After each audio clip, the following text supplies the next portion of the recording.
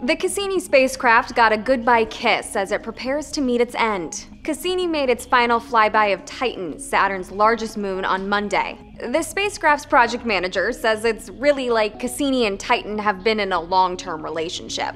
In the 13 years that Cassini's been studying Saturn and its moons, it's flown by Titan pretty much every month for over a decade. During those hundreds of passes, Cassini's discovered liquid seas and lakes made of liquid methane.